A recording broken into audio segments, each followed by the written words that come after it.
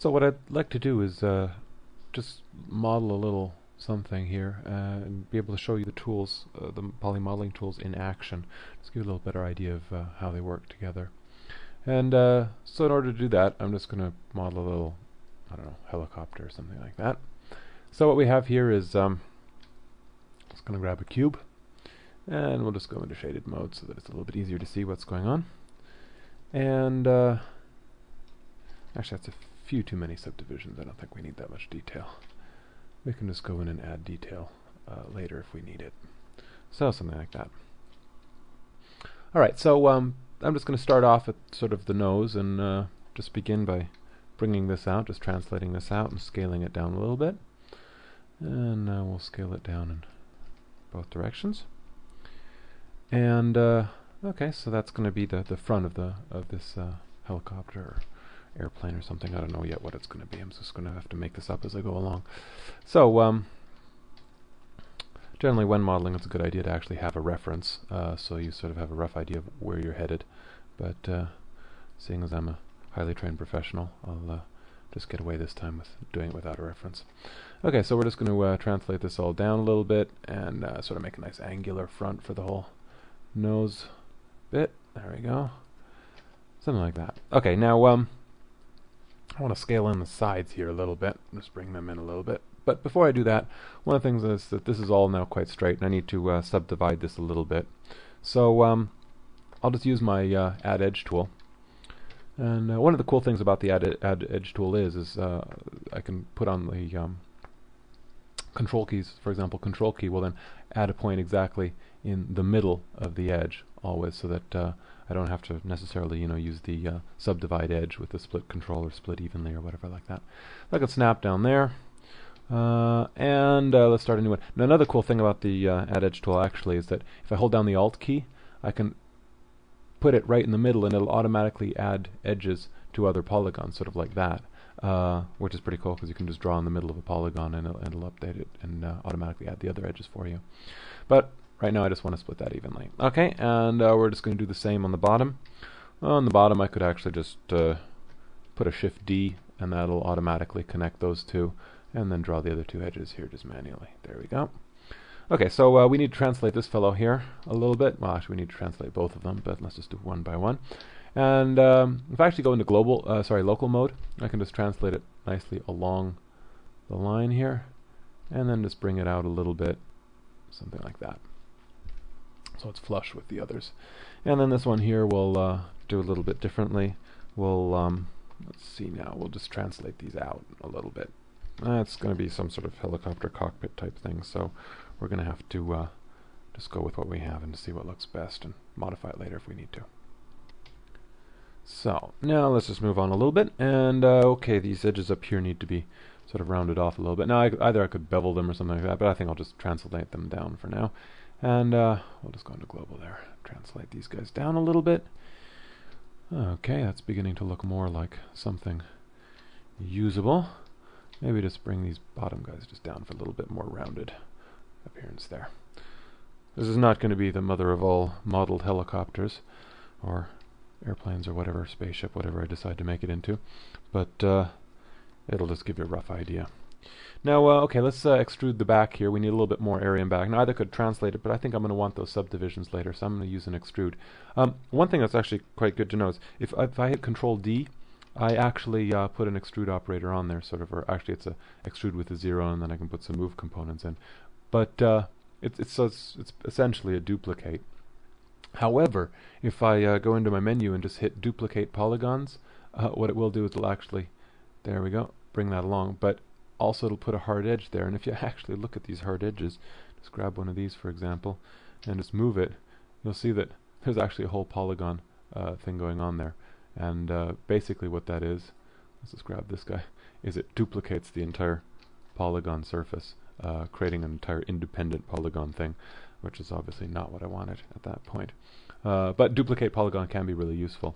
Um, again, I'll just maybe do it on this one up here, and we'll just do duplicate polygons, and uh, it now has that bit as just a separate little uh, thing. Okay, so um, and that'll use the duplicate uh, uh, settings that you have. Another one that's uh, probably quite useful to know is if you have the whole guys here and you do an extrude operator, um, th this window pops up. There are there are some fairly useful ones in here.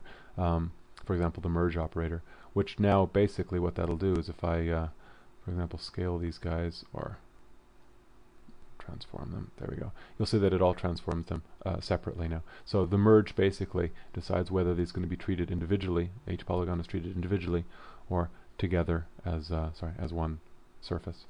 So that's a good one to know.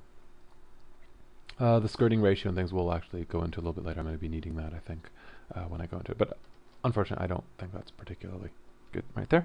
So we're just going to take that off. All right, so we have a little bit more detail. Now we need to uh, go in and actually uh, start working with this because uh, as such this is not particularly fine looking. So I'm just going to pull this one out a little bit and um, then just take the top one and pull that one out a little bit so we're getting that nice uh, sort of shape that you'd expect. And uh, actually I think I have a little bit too much length here. It's going to be going to look a little bit funny. So, uh, and I'm not worrying right now for the, I'm just about this, you know, exact shape details and things like that. I can always go in there later and uh, and work with that. One thing I do just notice now is that this particular edge here is not particularly nice, so we'll, so we'll just add another edge in there and fix that one up a little bit. So basically, when when I'm modeling, it's um, pretty much always this way, just adding detail as I go along, wherever it needs detail, and just you know refining things. And I mean, the real advantage of working in uh, XSI is that at any point you really can go back, and then you're never stuck with having, you know, just destroyed your model by having added some detail and that you can't reverse or done an operator that can't be reversed. So we'll just uh, maybe refine this up here at the top as well.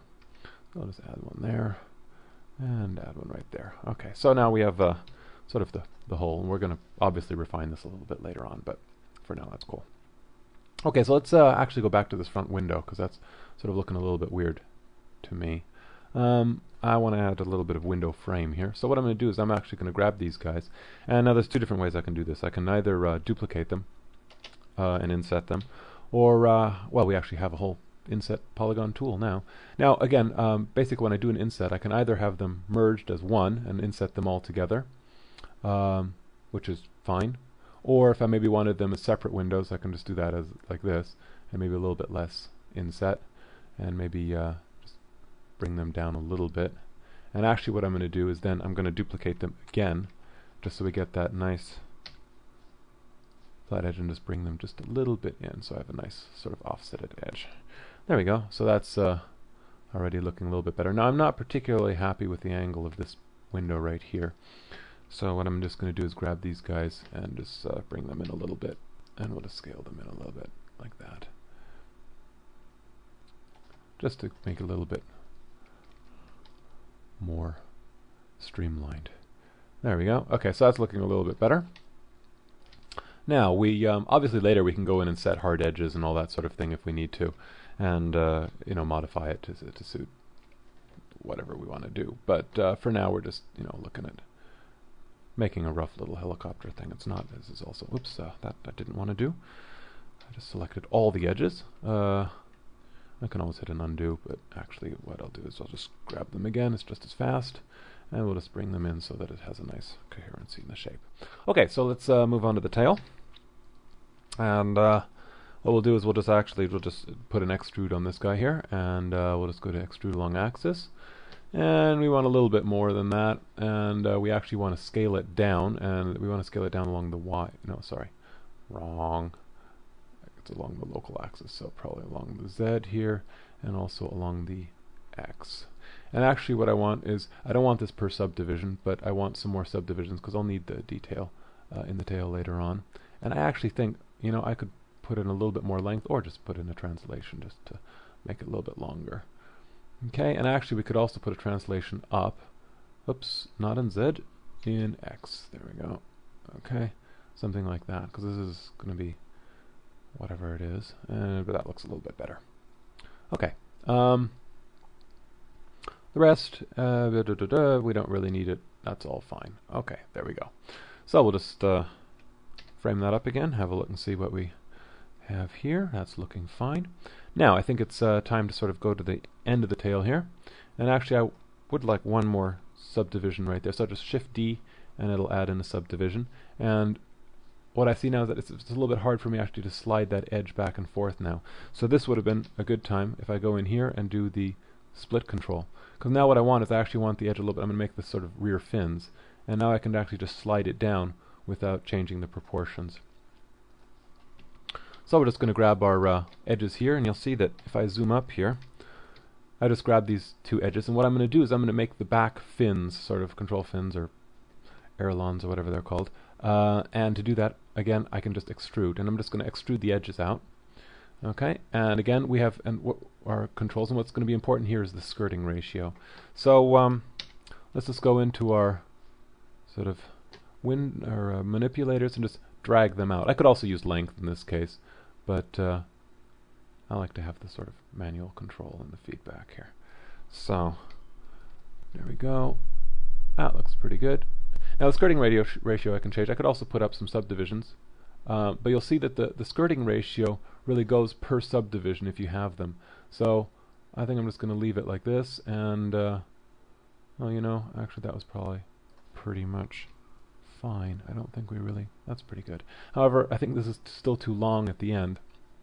So either I could use like my scaling, uh, and uh, that should be an X. We could scale it down. There we go and maybe we could actually translate it in X a little bit back. I could, of course, use the um, actual uh, manipulators here if I want to. Just go in there and just translate them back a little bit. Make a little bit more streamlined. So, there we go. That's our uh, back fins. Now, if we actually uh, zoom in here, we'll uh, just bring these down. I like these to be sort of flush. You could actually snap them and level and stuff like that to make it perfectly, but I'm just eyeballing this. This, this will be fine enough for, uh, good enough for government work, as they say. Okay, one more thing. Let's just zoom in here. Okay, so now let's uh, move on a little bit and um, let's work on the body a little bit. Now, one thing uh, I see here is that this is an awfully rough edge or hard edge down here, and maybe what I actually want is it to be a little bit more rounded. So uh, what I'll just do is I'll uh, just select the edges. Whoops, forgot to hold down Shift there to add my selection, and uh, then I can just use the middle mouse button with the Alt key for an edge loop. And uh, what's actually really useful to know about this one is if I select a um, an edge over here, and I wish to edge loop all the way around, just uh, basically hold down your Alt and middle click. Oops, right, sorry, that was a bit uh, too much. That did an edge ring in that case. And uh, middle click on an offsetted one, so not in the same uh, edge ring, and it'll actually go all the way around. Of course, in this case, that was a little bit too much because it went completely around the helicopter. But uh, if I just maybe sort of use it a little bit intelligently here, I can actually quickly make a ring right around it without having to select every single edge. It takes a little bit of getting used to and uh, just uh, learning how the uh, it selects it, but it, it's very, very fast now to select uh, rings and loops and that sort of thing. So I'm just going to add a little bevel just to uh, round this all off. You can see that looks uh, quite a bit better. I could actually also maybe put a rounding in there, you know, just to create a little bit more rounded uh, front. Oh, why not? Sure. Looks good. Okay. So, uh, and then what I might want to do actually, the other thing that I notice is if you look at the tail, here, the tail is also uh, quite sharp and, and, and sort of and hard-edged. I think I'm going to do the same thing for that, is just add a bevel on that. Now we'll just uh, grab our edges, there we go, and maybe the top ones here. I don't think I want to bevel the tail, because that needs to be quite sharp. But uh, what I actually might want to do is also just bevel this last little round bit at the back here, just to make that just a little bit more streamlined. So something like that. And uh, Let's just try it. Actually, you know, I don't know about these here.